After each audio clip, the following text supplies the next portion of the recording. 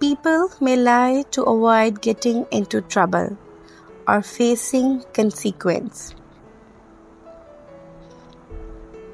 Sometimes people lie to protect the feelings or reputation of someone else. People lie to avoid feeling embarrassed or ashamed. Some lies for entertainment purpose or to tell captivating stories. Lying can be a way for individuals to escape from reality or avoid facing uncomfortable truth. Lying can be a way to take attention or sympathy from others. Lying can be a way to shift blame onto others. People may lie to avoid taking responsibility for their actions.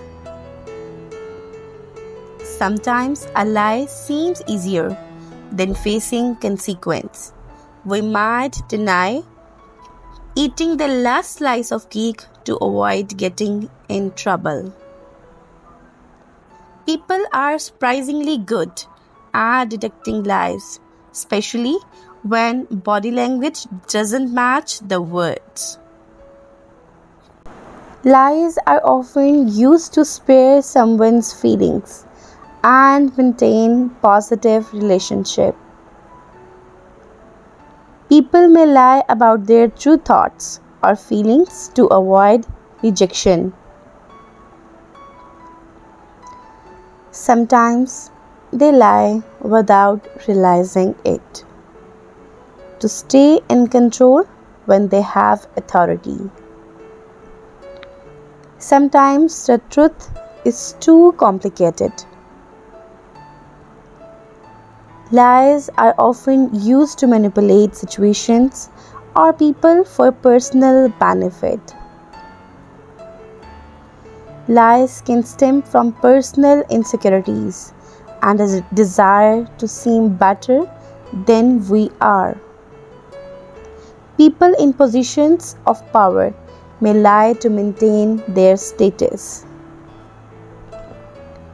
Lying can help manage emotional responses from others to make themselves look more impressive or skilled. Fear of punishment, whether from parents, teachers, or authorities, can drive lies in children and adults. Have you ever wondered why people lie?